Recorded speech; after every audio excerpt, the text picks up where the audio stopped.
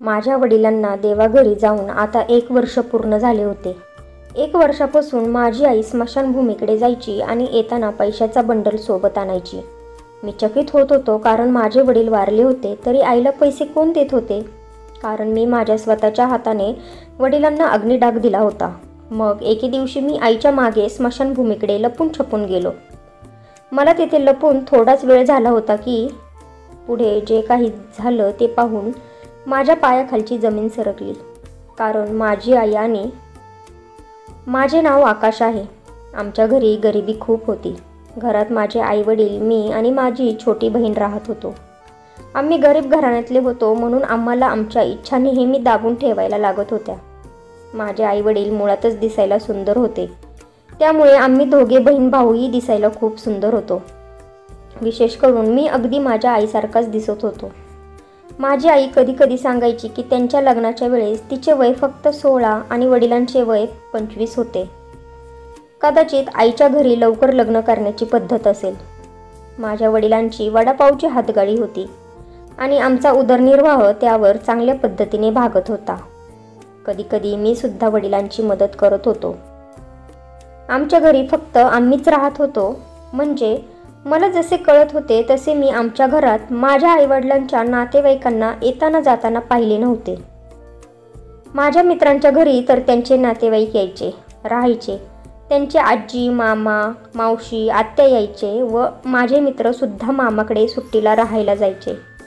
पण मला कधीकधी आश्चर्य वाटायचे की माझ्या वडिलांच्या आईकडून किंवा माझ्या आईच्या माहेराहून कोणीही आमच्याकडे येत जात नव्हते. मी कधी कधी माझ्या वडिलांना विचारायचो तर ते म्हणायचे ते एकुलते एक आहेत. त्यांना कोणीच भाऊ किंवा बहीण नाही. उन्हाळ्याच्या सुट्ट्यांमध्ये माझे मित्र त्यांच्या आजीकडे किंवा आत्याकडे राहायला जात होते. पण माझे नशीब एवढे खराब होते की मला माझ्या कोणत्याच नायक नातेवाईकांबद्दल काहीच माहिती नव्हते. माझ्या आईवडिलांचे आईवडील माझ्या जन्मण्याआधीच वारले होते असेच मला माझ्या आईवडिलांनी सांगितले होते. नातेवाईक तर नाहीच पण माझ्या आईवडिलांचे कोणी मित्रमैत्रिणीसुद्धा नव्हते जे सणासुदीला आमच्या घरी येतील किंवा आम्ही त्यांच्या घरी जाऊ. आम्ही आमचा संपूर्ण दिवस घरीच राहून घालवायचो. माझे आईवडील घराच्या बाहेर जास्त निघत नव्हते. आम्हाला शाळेत सोडवायला आमचे वडीलच यायचे. मला आणि माझ्या बहिणीला नेहमी सांगायचे की तुम्हाला जर तुमच्या आईवडिलांचे नाव कोणी विचारले तर चुकीचे नाव सांगत जा. आमचे खरं नाव कधीच सांगायचे नाही. मग मी हो मध्ये मान हलवत होतो. माहिती नाही त्यांना कसली भीती होती. आम्ही त्या भीतीमुळे कितीतरी शहर शहरे बदलली होती. आणि आज तेच झालं. मी सातवीमध्ये शिकत होतो. संध्याकाळ झाली होती. त्या दिवशी बाबा लवकर घरी आले आणि आईला म्हणाले की लवकर लवकर आपलं सामान पॅक कर. आपल्याला इथून निघावं लागेल. कामाचं सामान घे आणि लवकर निघा. आम्ही सर्वजण घाबरून गेलो. आणि आई बाबांना विचारायला लागली की असे काय झाले आहे? की आपल्याला घर सोडून जायचं आहे? आपण कुठे जात आहोत? सर्व ठीक तर आहे ना पण बाबांनी आईच्या कोणत्याही प्रश्नाचे उत्तर दिले नाही. आणि आईसोबत मिळून सामान पॅक करायला लागले. मला समजतच नव्हते की आम्ही हे घर सोडून का जात आहे. चांगलंच घर होतं आमचं. मी इथे स्कूललासुद्धा जात होतो. माझे शिक्षण चालू होते. माझे चांगले मित्र आहेत तिथे. पण वडील काहीच बोलत नव्हते आणि रातोरात आम्हाला सर्वांना घेऊन कुठेतरी गेले. एका अशा ठिकाणी जिथे आम्हाला कोणीच ओळखत नव्हते. मला दुसऱ्या गावी राहायला आल्यापासून करमतच नव्हते. गुदमरल्यासारखे होत होते. मी बाबांना विचारायचो की आपण इथून आपल्या घरी परत कधी जाणार आहे? माझ्या इथे माझे इथं मन लागत नाही. पण बाबांनी मला स्पष्ट सांगितले होते की आपण इथून कुठेही जाणार नाही. आपल्याला आता इथेच राहायचे आहे. मला ही गोष्ट अजिबात आवडली नव्हती. इथे बाबांनी मला आणि माझ्या बहिणीला प्रायव्हेट स्कूलमधून काढून सरकारी स्कूलमध्ये टाकले होते. मला तर हे सर्व काही समजतच नव्हते. माझे बाबा इथे काहीतरी नवीन काम शोधायला लागले होते. मला हे कळत नव्हते की तिथे चांगले जमलेले काम सोडून आम्ही इथे का आलो आहोत? आता सगळे काम पुन्हा करण्यासाठी वेळ तर लागणारच होता ना? असं नाही की आम्ही पहिल्यापासूनच त्याच गावात राहत होतो. आम्ही कितीतरी गावे बदलली होती पण या गावात खूप दिवस राहिलो होतो. त्यामुळे मला माझ्या मित्रांची खूप आठवण येत होती. मला त्यांना भेटण्याची खूप इच्छा होत होती. मी थोडे थोडे पैसे जमा करून स्कूलला जाण्याच्या बहाण्याने बसमध्ये बसून आमच्या जुन्या घराकडे गेलो. मी तिथे गेल्यावर माझ्या काही मित्रांनी सांगितले की त्या दिवशी जेव्हा तुम्ही इथून गेले होते तेव्हा तुम्ही गेल्यानंतर तुझ्या वडिलांना शोधण्यासाठी इथे काही लोक आले होते. बाबांचे नाव सारखे सारखे घेत होते. माझा एक मित्र म्हणाला की तू इथे यायला नको होते. ते लोक खूप खतरनाक दिसत होते. तू इथून ताबडतोब निघून जा. मी त्यांचे बोलणे ऐकून खूप घाबरलो होतो आणि लगेच मी बस पकडली आणि घरी परत आलो. मी माझ्या आईबाबांना काहीही सांगितले नाही. नाहीतर मला ते खूप ओरडले असते किंवा मारले देखील असते. इथे सुद्धा माझे आईवडील खूप भीत होते. आम्हाला घराच्या बाहेर खेळायला सुद्धा जाऊन देत नव्हते. आईबाबांना जर बाहेर जायचे असेल तर बाबा रूप बदलून जायचे आणि आई तोंडावर पदर घेऊन जायची. समजत नव्हते की नक्की कोणाला घाबरत होते. त्यांना नेमकी कोणत्या गोष्टीची भीती होती? एके दिवशी मी माझ्या आईबाबांचे बोलणे ऐकले. बाबा सांगत होते की आपले शत्रू आपल्या मागे आहेत. तू सावध राहत जा आणि मुलांनासुद्धा घराच्या बाहेर जाऊन देऊ नकोस आणि तूसुद्धा घराच्या बाहेर निघू नको. खूप वर्ष झाले आहेत तरीसुद्धा ते लोक माझ्याच मागे लागलेत. काय करावे तेच कळेना. आई म्हणाली आम्ही तर दिवसभर घरातच असतो. घराच्या बाहेर फक्त तुम्हीच जाता. तुम्ही तुमच्याकडे लक्ष द्या. ते लोक खूप खतरनाक आहेत. माहिती नाही कोण लोक होते ज्यांच्यामुळे आम्हाला सारखे सारखे आमचे घर काम शहर सर्व काही सोडावे लागले होते.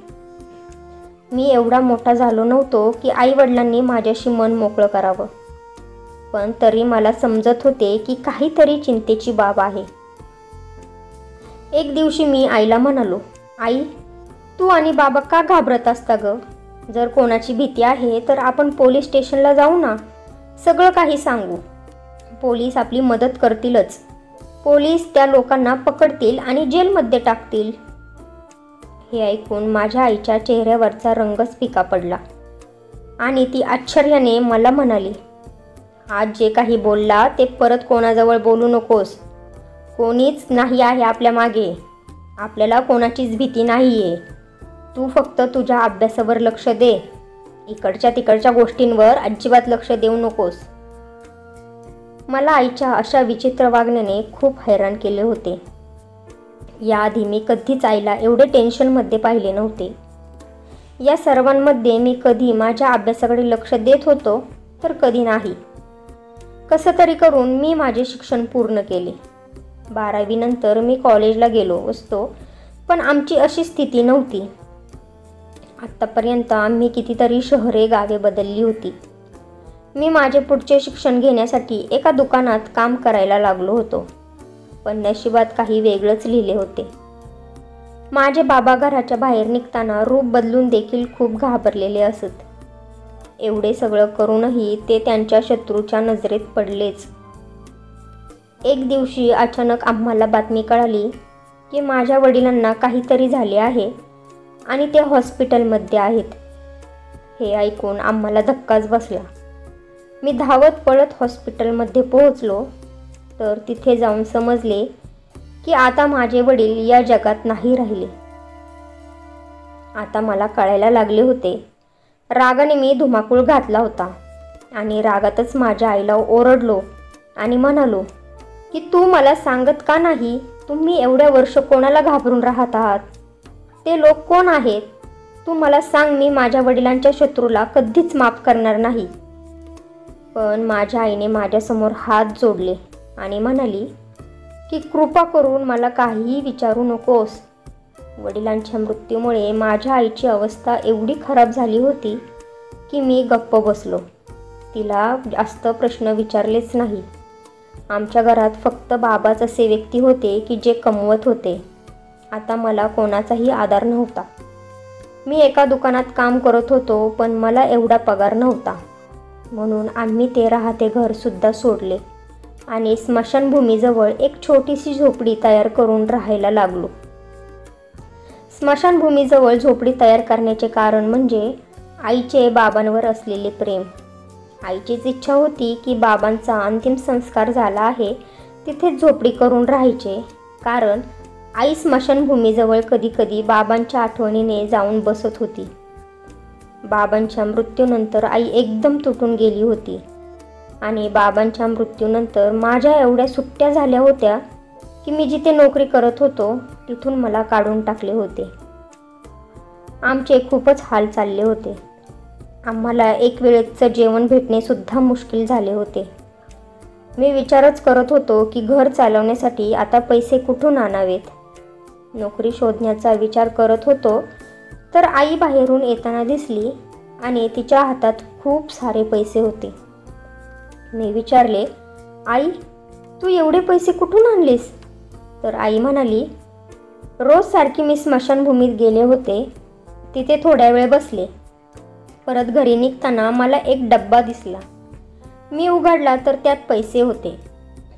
आईच्या उत्तराने मला हैराण केले होते. स्मशानभूमीत कोण असं पैशांचा डबा ठेवतं का? पण मी काहीच बोललो नाही. त्याच पैशाने आम्ही थोडा घरात किराणा भरला होता. पहिली आई कधीतरी स्मशानभूमीत जायची. पण आई आता दररोज स्मशानभूमीत जायला लागली होती. आणि तिथून पैसे घेऊन येत होती. आमचे त्याच पैशांवर घर खर्च भागत होता. त्याच पैशाने आईने माझे कॉलेजमध्ये सुद्धा ॲडमिशन करून दिले होते. मी आईला म्हणालो सुद्धा होतो की आई कॉलेजच्या ॲडमिशनसाठी खूप पैसे लागतात. आपण एवढे पैसे कुठून आणणार? पण आई म्हणाली होती की काळजी नको करूस. आत्तापर्यंत देवाने दिले आहे आणि इथून पुढे सुद्धा देवच देईल. मी विचार करत होतो की असं कसं देव कष्ट न करता पैसे देईल? ते सुद्धा स्मशानभूमीत. मला एवढेच कळत होते की आई स्मशानभूमीत जायची आणि येताना पैसे घेऊन येत होती. असं कसा आईलाच दररोज पैशांचा डबा भेटत होता काय माहिती? एकदा दोनदा मी विश्वास ठेवला की भेटले असतील पैसे योगायोगाने पण दररोज आई तिथून पैसे घेऊन येत होती. आम्ही दोघेही एवढ्या चांगल्या कॉलेजमध्ये शिकत होतो. त्या कॉलेजचे पैसे आईच देत होती. आम्ही कधी पैशांबद्दल विचारले तर आई आम्हाला टाळत होती. आई लगेच दुसरा विषय काढायची. कधी कधी मी विचार करायचो की आई मला कधीतरी सांगेल पण आई मला काही सांगतच नव्हती. किती वेळा तरी मी आईचा पाठलागसुद्धा केला होता पण माहिती नाही आईला कसे कळायचे की मी तिचा पाठलाग करत आहे. आई मला ओरडून तिथून पळून लावायची. कॉलेजमध्ये मी शिकत असताना माझ्या क्लासमधली एक मुलगी माझ्याकडे सारखी पाहायची. मला ते कळायचं पण मी लक्ष देत नव्हतो. पण माझे मित्र मला चिडवायचे. तिच्या डोळ्यांमध्ये स्पष्टपणे माझ्यासाठी प्रेम दिसत होते. पण मला या भानगडीतच पडायचे नव्हते.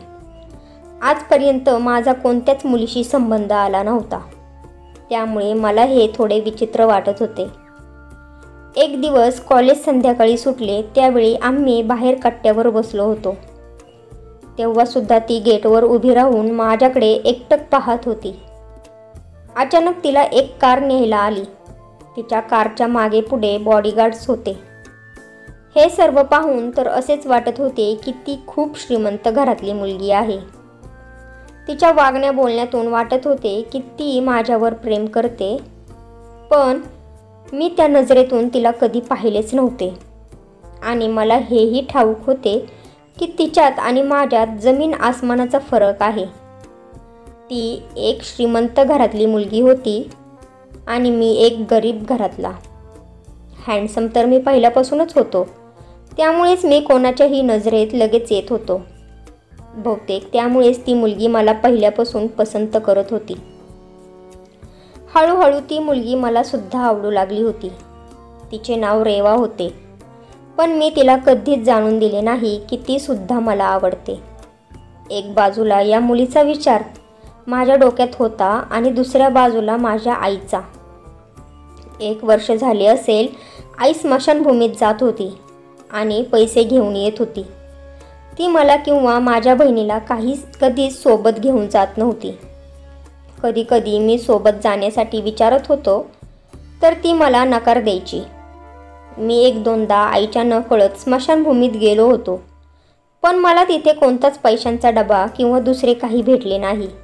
मग आईलाच तिथे पैसे कसे भेटत होते? हळूहळू आता मला संशय येऊ लागला होता. नक्की आई पैसे कुठून आणत होती? कोणाकडून आणत होती? अनेक वेळा मी आणि माझी बहीण या विषयावर चर्चा करायचो. की हे पैसे येतात तरी कुठून? आपले वडील तर गेले आहेत. पण माझी बहीण म्हणाली की दादा असे पण असू शकते की त्या शत्रूंपासून वाचण्यासाठी आपल्या वडिलांनी मरण्याचे नाटक केले आहे. बहुतेक ते जिवंत असतील. आणि तेच आपल्या घर खर्चाला पैसे देत असतील. या बोलण्याने मी विचारात पडलो होतो. हा विचार मी पहिला देखील केला होता. पण मी बाबांना स्वतःच्या हाताने अग्निडाग दिला होता. म्हणून असे काही असणे शक्यच नाही. हे पैसे तर दुसरीकडूनच येत होते. एक दिवस मी निर्णय घेतला की मी हे गुपित उघडणारच. मी कॉलेजमध्ये चाललो आहे असे सांगून मी स्मशानभूमीत आईच्या अगोदर गेलो आणि तिथे लपून बसलो. बघू तरी माझ्या आईला हे पैसे देतं तरी कोण? सुमारे दहा साडेदहा वाजले असतील. माझी आई तिथे स्मशानभूमीत येऊन बसली होती आणि दहा मिनिटातच एक माणूस स्मशानभूमीकडे येताना दिसला आणि तो माझ्या आईजवळ येऊन उभा राहिला. मी आश्चर्यचकित झालो की हा माणूस आहे तरी कोण? याचे काय नाते आहे माझ्या आईशी? माझ्या आईने इकडे तिकडे पाहिले की तिला कोण पाहत तर नाही ना? आणि परत त्या माणसाशी बोलायला लागली. ते दोघे काय बोलत आहे हे मला ऐकायला सुद्धा येत नव्हते. थोड्या वेळाने त्या माणसाने खिशातून पैसे काढून माझ्या आईच्या हातात दिले. खूप वेळ ते बोलत होते. नंतर ते दोघे तिथून निघून गेले. माझ्यासाठी ही गोष्ट खूप लाजीरवाणी होती. की माझी आई कोणत्या परक्या पुरुषाशी भेटते? त्याच्याकडून पैसे घेते. त्यानंतर मी आईचा दररोज पाठलाग करत होतो तर तोच माणूस माझ्या आईला दररोज पैसे देत होता. आणि माझी आईसुद्धा ते पैसे दररोज घेत होती. आता मला खूप राग येत होता. विचार करून करून माझे डोके खराब झाले होते. त्या माणसाशी माझ्या आईचे काय नाते आहे? माझी इच्छा नसतानाही मी आईला ओरडून जोरात बोललो. की त्या माणसात आणि तुझ्यामध्ये काय संबंध आहे? एवढे ऐकताच आईने माझ्या जोरात कानाखाली लावली आणि म्हणाली की तुला लाज नाही वाटत का असा आईशी प्रश्न विचारताना? आई रडायला लागली आणि म्हणाली तो माणूस दुसरा तिसरा कोणी नसून माझा सख्खा लहान भाऊ आहे. त्याचे नाव रामदास आहे. मी आईचे बोलणे खूप लक्षपूर्वक ऐकत होतो. आईने तर आम्हाला पहिले सांगितले होते की तिला कोणीच बहीण भाऊ नाही. मग हा सख्खा भाऊ आला तरी कोठून? मी हा प्रश्न केला असता ती रडायला लागली आणि तिचा भूतकाळ सांगू लागली. लग्न अगोदर मी एका श्रीमंत घराण्यातली मुलगी होते. मला चार भाऊ आहे चार भावांच्यात मी एकुलती एक बहीण आहे. माझे वडील खूप श्रीमंत आणि त्यावेळेसचे आमदार होते. ते खूप प्रतिष्ठित होते. आमची आमचा खूप मोठा वाडा होता. मी घरातली सर्वात लहान असल्यामुळे आणि एकुलती एक मुलगी असल्यामुळे सगळ्यांची खूप लाडकी होते. त्यावेळेस माझे लग्न माझ्या मोठ्या भावाने त्याच्या मित्रासोबत ठरवले होते. तो मित्र तर आमच्यापेक्षा दुपटीने श्रीमंत होता. पण मला माझ्या भावाचा तो मित्र पसंत नव्हता. कारण माझे आमच्या नोकराच्या मुलावर प्रेम होते. आणि तो नोकराचा मुलगा म्हणजे तुमचे बाबा होते. नोकराचा मुलगा असल्यामुळे मी माझी पसंत कोणाला सांगू शकले नव्हते. मला खूप बंधने होती तरीही मी लपून छपून तुझ्या बाबांना बागेत भेटायला जात होते. तुझे बाबासुद्धा मला पसंत करत होते. पण आम्हाला माहिती होते की आमच्या लग्नाला कोणीच परवानगी देणार नाही. म्हणून आम्ही पळून जाऊन लग्न करण्याचा निर्णय घेतला होता. ज्या दिवशी माझे लग्न तुझ्या भा माझ्या भावाच्या मित्राबरोबर होते त्याच दिवशी मी तुझ्या बाबांसोबत पळून जाऊन लग्न केले. आम्हाला माहिती होते की आम्ही खूप चुकीचे केलं आहे पण आमच्याजवळ कोणताच पर्याय नव्हता. त्यावेळेस माझे वय देखील कमी होते आणि माझ्यावर तुझ्या बाबांची प्रेमाची नशा. मला नेहमीच या गोष्टीचे दुःख होते की मी असे चुकीचे का केले? आम्ही पळून गेल्यानंतर माझे भाऊ आणि माझे वडील आम्हाला शोधायला लागले होते. पळून जाऊन खूप वर्ष झाली तरी ते आम्हाला शोधतच होते कारण त्यांची इज्जत धुळीस मिळाली होती. आम्ही त्यांच्या भीतीमुळे एका शहरातून दुसऱ्या शहरात भटकत होतो आणि वेळ वा घालवत होतो. काही वर्षानंतर माझ्या वडिलांनी आमचा पाठलाग करणे सोडून दिले पण माझ्या भावाने नाही. माझ्यामुळे त्याची खूप बदनामी झाली होती. माझ्यामुळे त्याच्या मित्राची वरात आमच्या घरातून परत गेली होती. सगळ्या गावात त्यांची थू थू झाली होती की आमदाराची पोरगी एका नोकराच्या मुलाबरोबर पळून गेली. माझा मोठा भाऊ सोडाच्या आगीत जळत होता. त्याला तुझ्या वडिलांचा जीवच घ्यायचा होता. आणि शेवटी तेच झालं. एक दिवस तुझे बाबा काही कामानिमित्त शहरात गेले होते. ते सुद्धा रूप बदलून. तरीही तिथल्या माणसाने तुझ्या बाबांना ओळखले आणि दादाला फोन करून सांगितले. तुझे बाबा त्यांना सापडले. तुझ्या बाबांना त्यांनी माझा पत्तासुद्धा विचारला होता पण त्यांनी सांगितला नाही.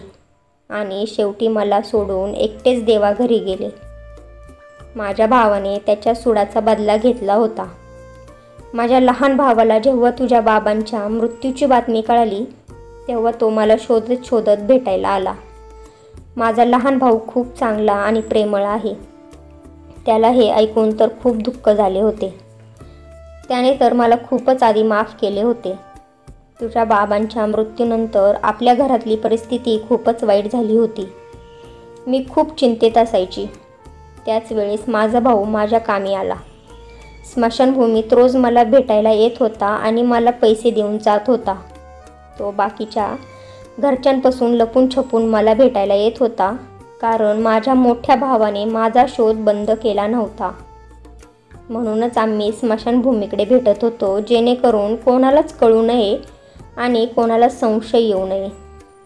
माझ्या या लहान भावानेच तुला आणि तुझ्या बहिणीला शिकवले आणि तुम्हाला चांगल्या कॉलेजमध्ये ॲडमिशनसुद्धा करून दिले.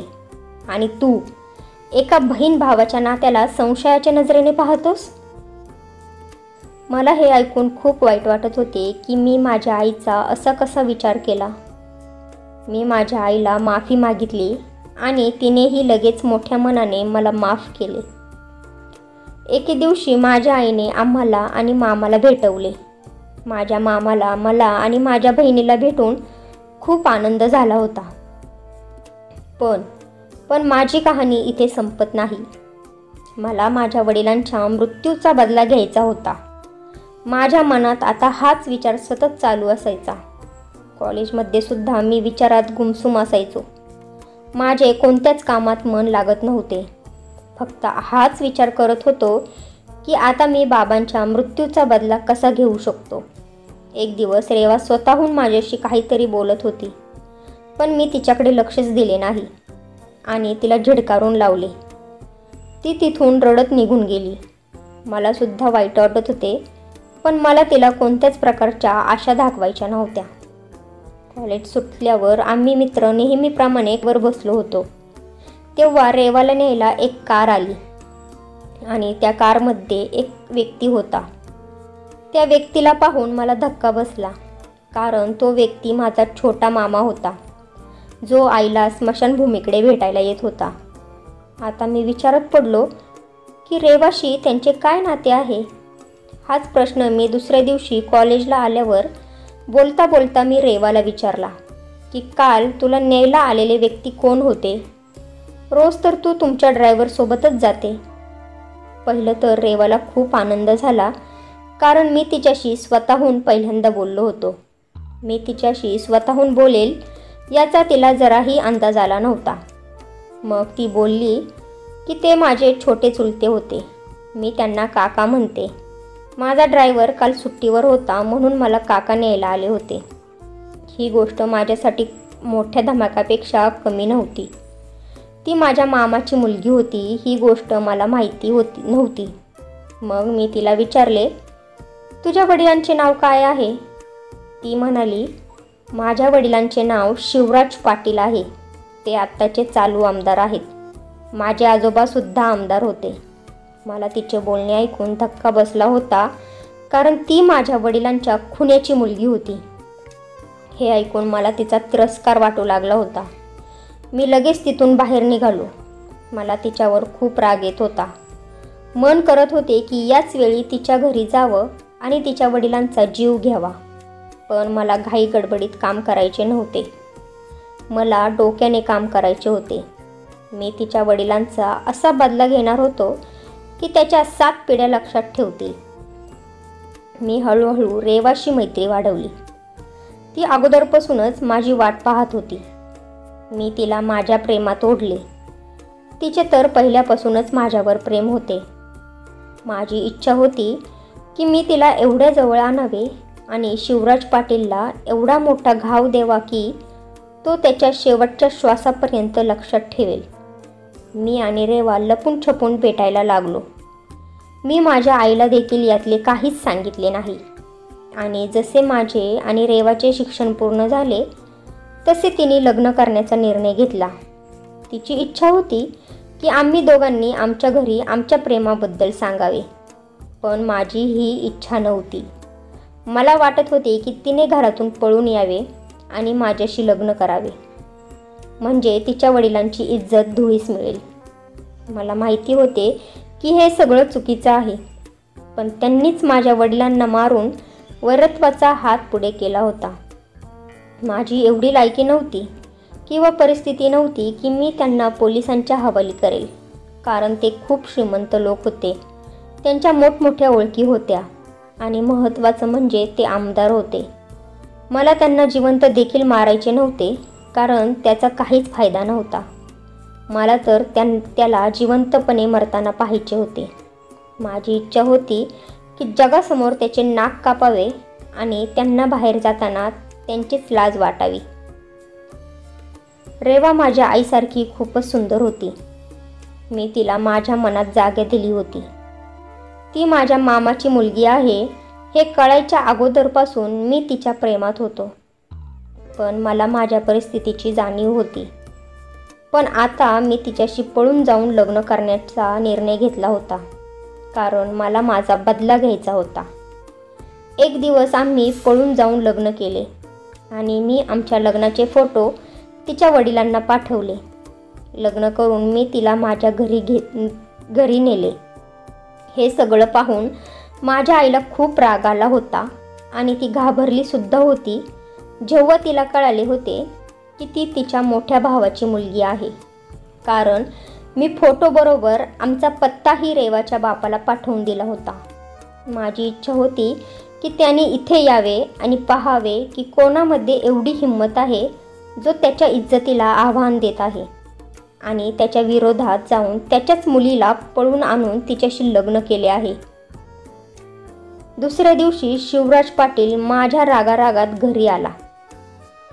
पण त्याला त्याच्या मुलीला नाही तर माझ्या आईला पाहून धक्का बसला होता. मी रेवाचा हात पकडला आणि त्याच्या पुढे गेलो आणि म्हणालो ही होती तुमची मुलगी. आता आहे माझी लग्नाची बायको. तुमच्या नाकावर टिचून मी तिला पळून आणले आहे आणि तिच्याशी लग्न केले आहे. हिंमत असेल तर मला मारून दाखवा. हे ऐकून शिवराज पाटीलला खूप राग आला होता. तो मला मारण्यासाठी धावला. पण रेवाने त्यांचा हात पकडला आणि ओरडून म्हणाली खबरदार जर माझ्या नवऱ्याला हात लावला माझ्यासारखी वाईट कोणीच नसेल. मी आत्यासारखी नाही जी माझ्या नवऱ्याच्या मृत्यूनंतरही तुम्हाला माफ करेल. मी पोलिसांकडे जाईल कोर्टात जाईल. याबाबत मी पोलिसांना निवेदन दिले आहे. मी आता अठरा वर्षाची होऊन गेली आहे. त्यामुळे मी सुज्ञान आहे. हे लग्न मी माझ्या मर्जीने केले आहे. तुम्ही यामध्ये लक्ष घालू शकत नाही. आपल्या मुलीचे हे रूप पाहून शिवराज पाटीलला खूप मोठा धक्का बसला आणि ते खाली कोसळले. त्यांना हार्ट अटॅक आला होता. त्यांच्या गार्ड्सने त्यांना उचलून हॉस्पिटलकडे नेले.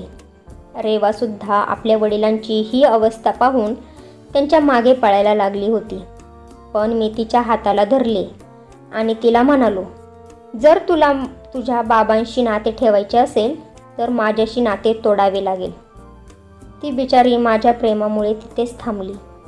शिवराज पाटील त्याच्या मुलीच्या अशा वागण्यामुळे एकदम तुटून गेला होता. तो आता कायमचा खाटेवरतीच पडून होता. त्याला उठता बसता देखील येत नव्हते आणि मला हेच हवे होते. देवाने त्याला त्याच्या कर्माची शिक्षा दिली होती. मी सुद्धा माझा बदला घेण्याच्या द्वेषाच्या आगीत जळून चुकीच्या मार्गे गेलो होतो. मला माझ्या आईने माझ्या चुकीची जाणीव करून दिली. तेव्हा मी रेवाला तिच्या वडिलांना भेटण्याची परवानगी दिली होती. पण मी आणि माझी आई शिवराज पाटीलला कधीच माफ करू शकलो नाही. कारण माझ्या आईने आणि वडिलांनी फक्त प्रेम केले होते. आणि ते प्रेमाची शिक्षा एवढी भयानक होती की त्याच्यामुळे माझी आई विधवा आणि आम्ही अनाथ झालो होतो. शिवराज पाटीलने एकदा माझ्या आईची माफी मागितली आणि तिला तिच्या हक्काची संपत्ती परत दिली होती. पण त्यांनी मागितलेली माफी आणि दिलेली संपत्ती माझ्या वडिलांना परत आणू शकत होती का? आमचे बहीण भावाचे बालपण परत येऊ शकत होते का? तुम्हाला काय वाटते माझ्या आईने आता तिच्या भावाला माफ केले पाहिजे का? कमेंट करून नक्की सांगा. फ्रेंड्स तुम्हाला ही स्टोरी आवडली असेल तर व्हिडिओला लाईक करा आणि नात्यांचा स्पर्श या चॅनेलला सबस्क्राईब करा आणि बेल आयकॉनवर क्लिक करून ऑलवर सेट करा. म्हणजे पुढची व्हिडिओ तुम्हाला लगेच भेटेल. धन्यवाद.